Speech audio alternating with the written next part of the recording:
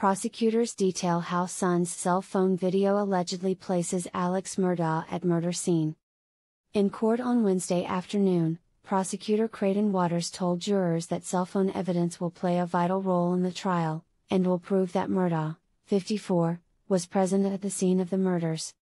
Specifically, Waters claimed that Paul Murdaugh had sent a cell phone video to a friend at 8:44 and 55 seconds on the evening of June 7, 2021.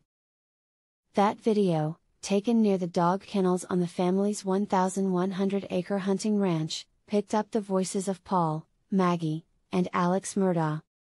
Prosecutors say that Alex Murdaugh shot and killed his wife and son at approximately 8:49 p.m., just minutes after the video was taken. Then, they say, he called his wife's phone after her death in an effort to create an alibi.